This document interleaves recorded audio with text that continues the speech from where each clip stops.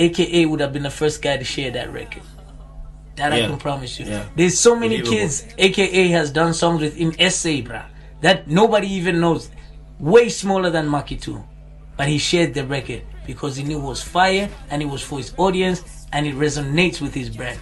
That record with Macky 2 doesn't resonate with his brand. That song is not fire.